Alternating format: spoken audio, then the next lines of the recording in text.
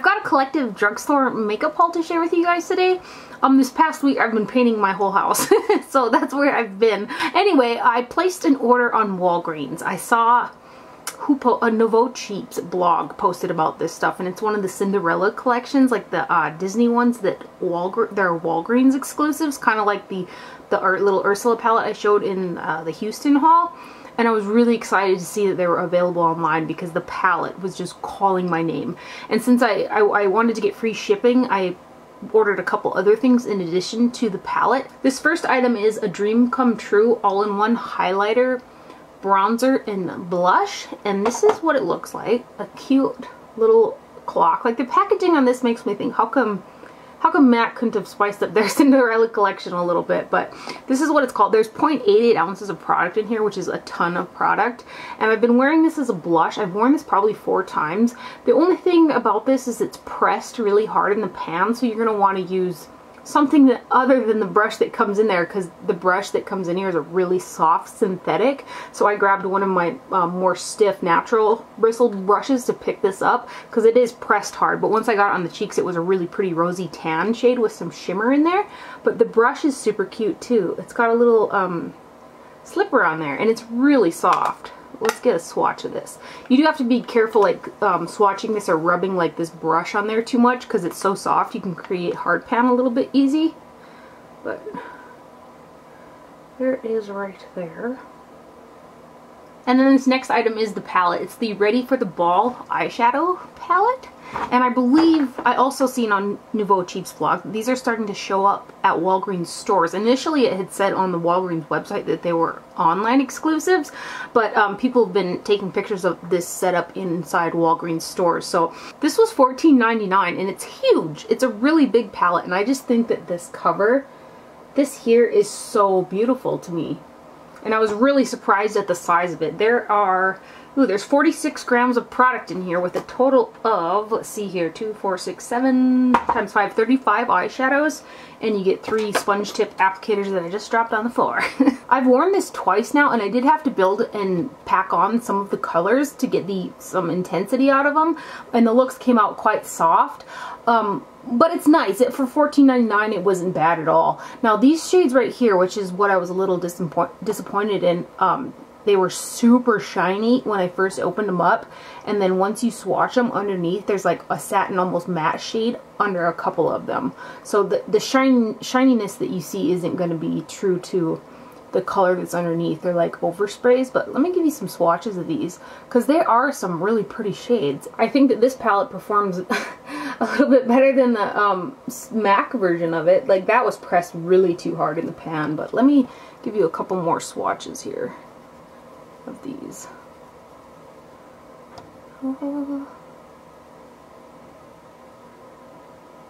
So, I mean, they're not bad, but I did have to, you know, pack pack on some of the colors because they are softer. But this packaging. then to qualify for free shipping, I added this to my order. This is the Disney Dare to Dream bronzer set with it's the Pocahontas version and it's called Spinning Arrow and inside of there comes a bronzer that's what the packaging looks like. And there's like a feather um, embossed in it right there. And the brush that comes with this doesn't have any special designs, but it's really bad. it's not as nice as the Cinderella brush. It's like it's just a really not good brush. So I probably, I'm probably going to throw this away to be honest because it's really not that great. However, this bronzer, I've worn this, of course, except today.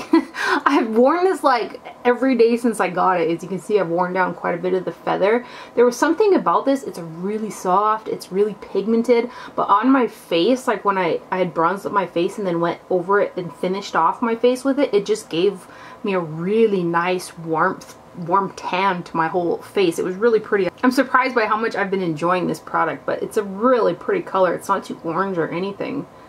Then at Walmart, I did pick up the Revlon Color State Just Nudes palettes, which I did do a video on this already with swatches and my opinion and stuff on that. So I'll link it down below if you're interested in seeing that. But I did pick these guys up. And then I also purchased the Star Wars The Force Awakens limited edition, the Supersizer mascara.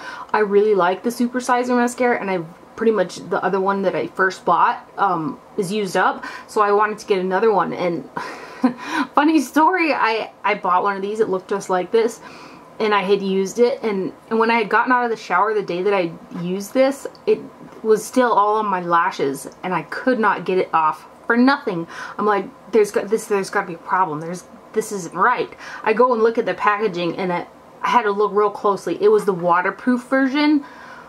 That stuff stayed on my eyelashes for like three days. I tried to get it off a couple different times and I was losing some eyelashes doing so. So I was just like, I'm just going to have to wait for it to flake off or whatever. But anyway, I got the the good one, the one that I like, which isn't the waterproof version, and I really like this mascara. It gives a nice amount of volume and length, but I don't feel like it does too much of either. Just a, a nice mascara. Then at Target, I picked up the Sonia Kashuk Grand Bazaar Exotic Crystal Illuminating Powder. And this is from their holiday collection. I, I saw like sparkles and stuff and was all over that.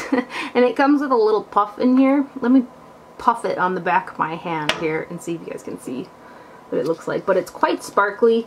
Um, not a ton of pigment, but something that you can use maybe on your décolleté. I have put it on the tops of my cheekbones a couple times, and I like it. Uh, I think it'll be too sparkly for some, but for me, I'm all about it. So this is what it looks like. It's really pretty. Right there. Another thing that I purchased off the Walgreens online site is a Nonie Creme Color Prevails palette. And this is one a newer one that I saw and it's called Social Butterfly. And I've got the other three and they're nice. I think that they're pretty decent. I haven't worn this one yet, but the colors are really pretty inside. It does come with a little tiny brush in there, but let me get up close and show you these right here. The colors look really pretty. These some swatches. These three right here are quite pigmented.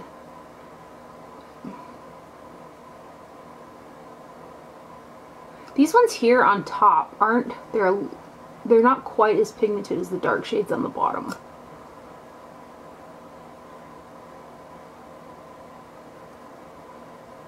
a little bit softer those ones but that is the Nonie Creme Color Prevails palette in Social Butterfly then when I was on the road and I stopped at Walgreens, I was able to find part of a limited edition Wet n Wild collection. I don't know if it was their Halloween one or what, but I picked up two lipsticks. This first one is called Blossom Out, and it's very peachy orangey nude.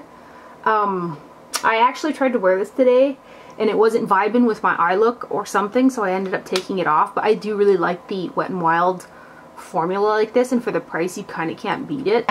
And then the other shade that I got is Pink Pyramid. And this is what Pink Pyramid looks like. Right there. So see how pigmented they are? And I think these were like a dollar ninety-nine or something. I was also able to find one of two limited edition quints from that collection. And this one is in Shake Your Tail Feather. I have not used this yet, but I love to collect Wet n Wild eyeshadows. That's what this one looks like. Oh, they, oh, they feel very nice and soft. Bam! Oh, that is so pretty. This is the first time I even swatched these. So that one is Shake Your Tail Feather. That is so pretty. Then for the other palette that came in that same collection, it's called Sphinx Minx. I have to give a big shout out to Cat who also does YouTube videos. She picked this up for me because I couldn't find it. And that is what Sphinx Minx looks like. I'll link her channel down below, but big appreciation for you, Cat, for picking this up for me. I couldn't find it anywhere. I stopped at like three Walgreens. they had the Shake Your Tail feather at quite a few of them, but this one was sold out. Pretty.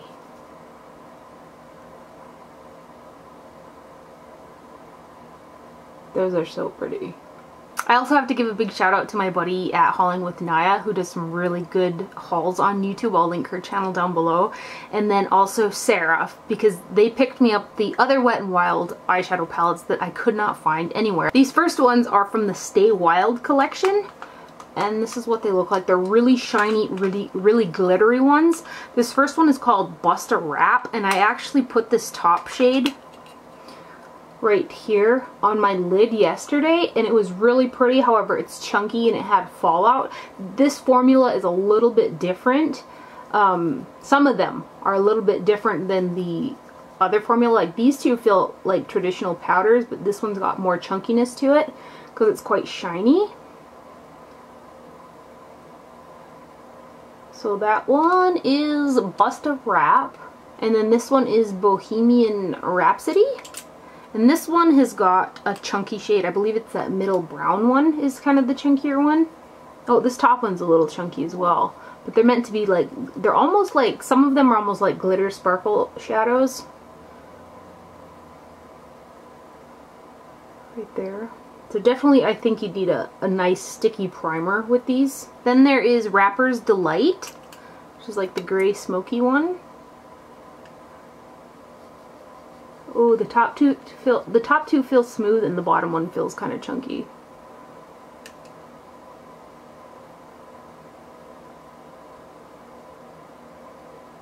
And then the last one that Sarah picked up for me from the Stay Wild collection is Freestyle Wrap. And this is the purpley one. And this top one is really quite gritty. The middle one is gritty. And the bottom one is kind of gritty. So this one here feels like they're all more glittery, um, chunkier types of shadows. I didn't feel any smooth ones in this one. Yeah, that top one is really grit gritty. And then from the Fergie collection, this one is called After Midnight. Some super pretty sparkly shades in there. And my buddy Niya picked this one up for me.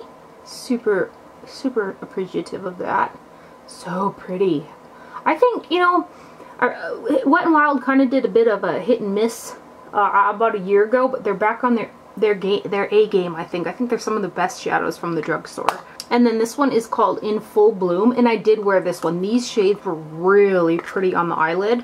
I mixed them with a couple other shadows, but this green, they got sparkle in it, and they're like really metallic, shiny shadows. I really enjoyed using this.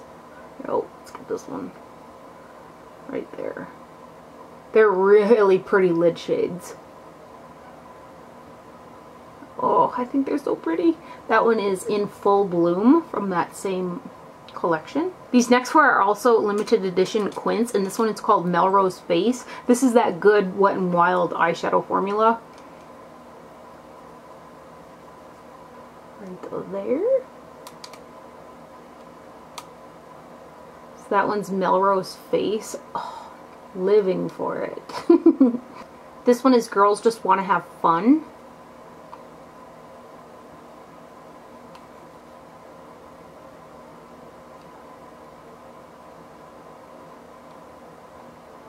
So pretty.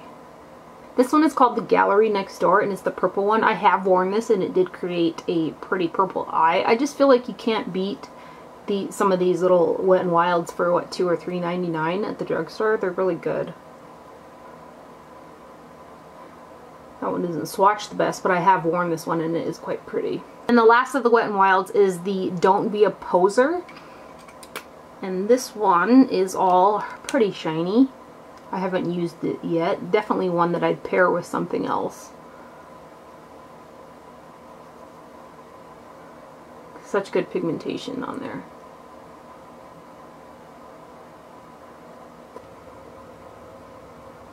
When I was at CVS, I saw that they had the new Makeup Academy 10 pan palettes, and they were on sale as well. I want to say that they were like 30% off or something like that. Maybe they were 40. I got them on sale in any event, and there are three total, and I've worn, did I wear all three of these? I wore two of them two or three times, but I haven't worn the metallic one just yet, but I've worn these two. This one is the nude eyeshadow palette, and there is one, two, three, four, there's five mats in here. Five, six mats in here. Pretty good mats. and I've worn this a couple times already, and oddly enough, there's something about these palettes that really remind me of the By Terry palettes, which there's a huge price difference between the By Terry palettes and these, but there's something about the formulation, also the looks that came out of them that was um, resembled or reminded me of those by Terry palettes. And I think that these are a good deal, especially if you can get them on sale. There's 10 good colors. Another good option um, from the drugstore. I mean, I think these are better than um, both Revlon and Maybelline put together.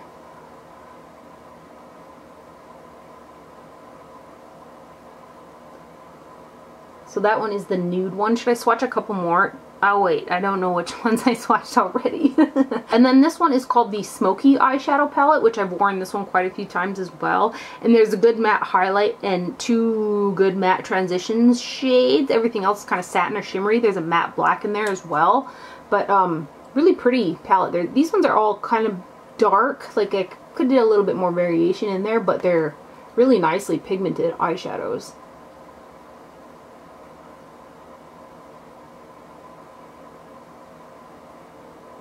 Should I do some of these light ones?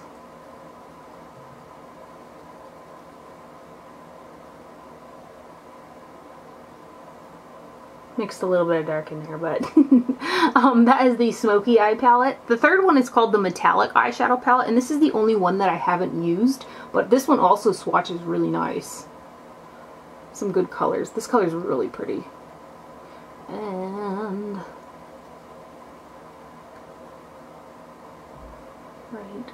there.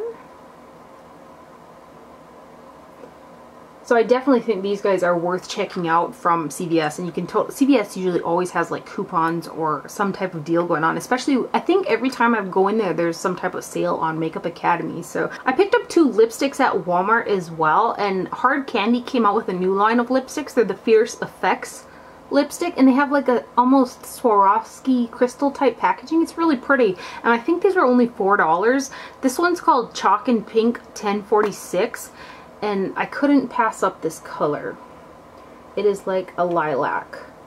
It's not full opacity, but it's not super sheer either, but it's got a nice glossy finish with, um, I plan on wearing this with like NARS El Agua or Clinique Sky Violet lip liner, kind of blended in but I really like that guy. And then the other lipstick is one of the Maybelline Color Sensationals, which those are my favorite lipsticks from the drugstore. I know some people just can't with the smell, but these are actually one that don't bother me. and this is um, limited edition packaging on here, and it's number 100.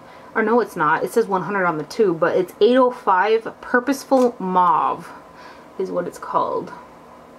Right there.